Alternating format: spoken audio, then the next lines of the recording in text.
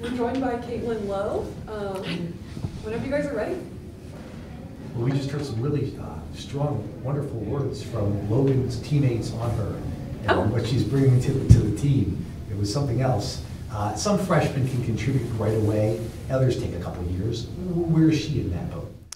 Well, I can tell you she contributed right away in the practice setting, that's for sure. I think it takes a special freshman to walk in amongst Allie Skaggs and Soph Carroll and Carlie Scupin and hold their own. And she's one of our best infielders, that's for sure. And she elevated our entire practice. Um, she knows her role very well. She's developing offensively, but you know, I think the most I've been the most impressed by how the freshmen have handled stepping in and just embracing the culture that these these older girls have set. For my knowledge, how long have you, how long have you known her for? Logan, I mean, she was a little nugget coming to camp. I mean, yeah. So um, it's a great question. She probably started coming to camps when she was like 11 or 12 years old, I would guess. Make her physically, obviously, you mentioned Little Nugget, and a lot of people been, you know, she may be a little bit on the thinner side. I mean, does she have to be a little bit, get, get a little bigger physically to? Well, just to be clear, I looked like Logan in high school. I mean, I, I think I weighed 105 pounds on my driver's license. I was, you know, I had, I gained 15 pounds of pure muscle my freshman year. Um, and I don't think it's remaking her physically. We're not going to turn her into Allie Skaggs and Carlie Scupin. That's just not possible. And our conversation yesterday at the plate was actually, you know, what she brings to the table that they don't. And she is scrappy as heck offensively. She can hit good spin, but her success looks like singles and doubles. It doesn't look like doubles and home runs like other people. And um, that's why we recruited her because it's hard to throw to her zone and she can hit all spin through the infield and that's all we needed to do is get on base for those for those big boppers to come up and do do their thing so um, yeah we're getting her bigger faster stronger just like anyone but i also don't want her to change her identity For Izzy moving back behind the plate, I assume. um, what's that like going to be like, do you think, for her? I mean, going from third back, she hasn't been a starting catcher in a while. I think it's going to make a huge impact on our team, and it already has. And um, third base, you communicate a lot. Catcher, you're the leader of the field in a lot of ways. Um, up the middle is where the leadership lies normally. And um, I've seen a change in how our pitchers react in certain situations. You know, there's this tunnel vision thing that happens when the battery is just so locked in and connected. Um, and she's taken the time in the bullpen to work her tail off and make those connections with each of our pitchers um, so that when they struggle, she can bring them right back. Um, and I think, you know, more so than what she's going to contribute offensively and defensively, she's going to make us grow as a team in that way. What do you figure is the biggest lesson you took away from year one? there's a lot of lessons. Um, the biggest lesson, I think, um, you know, our team meeting, our very first team meeting this year, um, we as a staff kind of walked away and really felt like it was us, um, not just as a staff, but um, it was the identity that we knew this team had, and it's just different. It's different every year. And I've truly felt like this group and this leadership has put their own stamp on this program in a way that's never been done before since I've been here. And um, I'm excited to see what that version looks like. But, you know, it's hard in a transition when if it's not broke, don't fix it kind of thing. You don't want to change a lot. Um, but we knew going into this year, and I don't think we, we would have known what we wanted to say if we didn't live through what happened last year um, and the ups and downs and the adversity of that. So um, we just feel like we're settled in, we feel more like ourselves, and I feel like um, the leadership of this team has taken on just a new identity that I love. Talk about that stamp that this program hasn't seen before. What, what does that mean?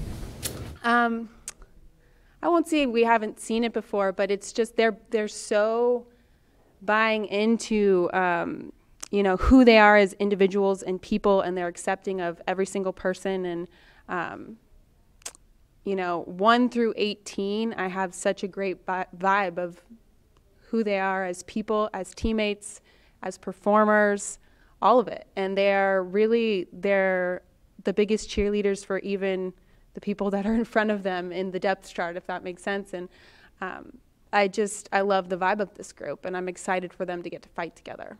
Kate, I'm going to ask you the same question I asked Jed Fish a few minutes ago. As this transfer portal thing continues to progress, he lost three kids to USC, you lost two kids to UCLA.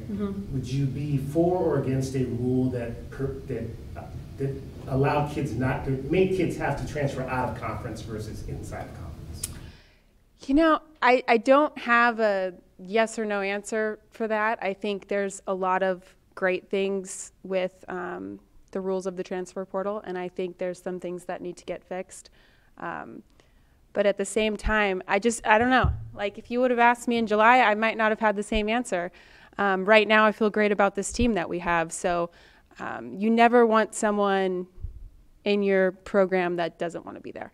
And I think that's the biggest takeaway is that we have 18 people um, fighting for this A on their chest and they believe in it to their core, just like I do, just like our staff does.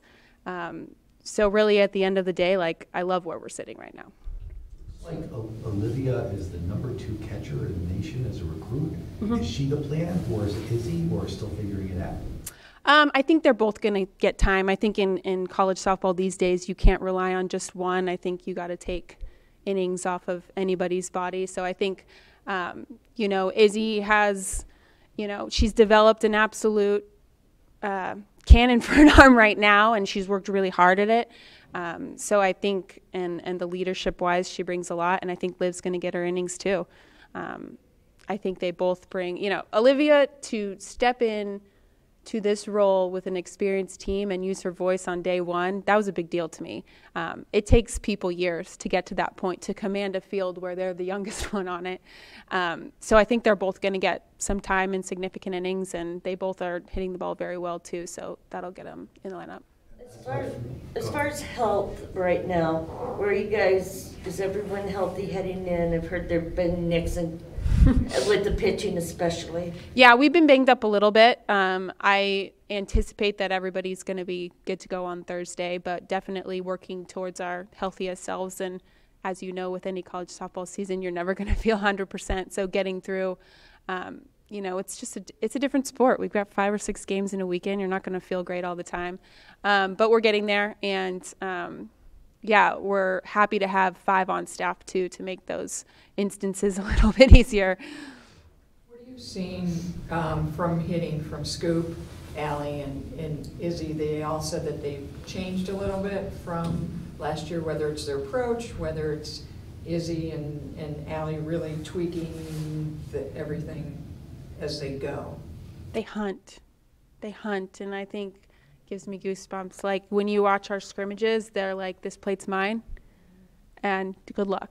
That's what the mentality looks like. It's not what they say but because they would never and you know Allie Skaggs and she's the most humble person in the entire world but um, they hunt and that's their plate and that comes with knowing and trusting your swing and then it becomes about competing. And you know when you get too mechanical in certain instances it takes you away from that competition mode. And right now um, that confidence is spreading to our younger kids which is what you want to see um, and the maturity as a hitter. You know like when you've hit at the world series with however many thousands of people there um, you walk a, uh, just a different way that's how they walked into the fall and um, I know Izzy and Skaggs specifically have, you know, become very good students of the game, and they pick each other's brains all the time, and they're all in the same hitting group for a reason too. Um, and yeah, I just think the maturity has done wonders for them. How often did you retool your own swing? Retool my own swing. Well, I don't know if you remember, but my freshman year, I had a bad angle that looked like this. They called me Scorpion in the Pac 12 because it was pointing the other direction, and we were just dabbling with some things, and that was my whole freshman year. And then the next year, I looked different. It's, you know, you hit so much at practice. Sometimes it's a bad thing when you hit too much and you think about things too much, but. Um, you know, Coach Candrea was always awesome with like, if I can get you to feel it, then it'll cross over. So um, sometimes drills turn into actual swings. But I, I loved, um, Allie Skaggs just posted on Twitter a picture of her in 2020 and, and this year. And it's like to me, I look at those two pictures and I say, wow, that that one is like crazy confident hitter, knows what her swing feels like and knows what she wants. And um, to see that progression is really cool, not just on the softball field, but as a person and as a leader too. Can you tell that Jasmine is a coach's daughter?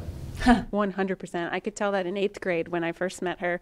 Um, she, uh, this is back in early recruiting when we were watching 14 and under, and um, she was a center fielder that was able to read a swing, adjust outfielders accordingly to whether someone was late, they were going to roll over according to what her pitcher was throwing, and I was in awe. Like, you can teach kids for four years and sometimes they don't pick that up. And she just had a knack of watching the game, feeling the game out defensively, which is a huge thing in softball because most people want to hit. She takes pride in her defense.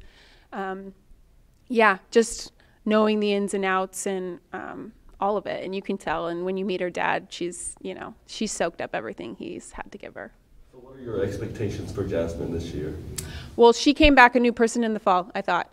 Um, she grew up a lot last year, but I thought she made it a point to come back ready to go and really take on a leadership role this year. So she's moved over to center field. That's her natural position, so it didn't surprise me. Um, I think she's gotten way more mature at the plate. Um, her confidence has grown. She knows what she wants to do with the ball. Um, I'm excited for her this year because I think she's not as worried about things that she would have been worried about last year. She's fixed. Um, she's fixed her feet. She's in the box all the time, and I give her credit because she went up to, you know, an umpire that works our scrimmages, and she said, "Let me know." And not a lot of people are going to do that. They don't want to draw attention to it. And she was like, "I want to. That's not going to happen this year." So, um, just big props to her, and um, she's actually swinging away a little bit too. So we'll we'll see how um, how that fits into our lineup as well. She seemed to be doing really well at that leadoff position last year, so is that where you expect her this year? You know, it's crazy. We have a handful of leadoff options. I like her there. Um, you know, her and uh, Blaze Behringer, they get on base a lot. Their on base percentage is so high and they're just scrappy. Um, and they can do a lot of different things. So, um, you know, when we sit in the office and try to make lineups, it's kind of crazy sometimes how low people get in it. And you're like, wow, she should not be that low. But she's that low because we have a lot of good options. So we're excited to see what that looks like all put together because we haven't seen it since the fall. And really, there's been a lot of development since then, too. Anything else for Coach? All right. Thanks, guys.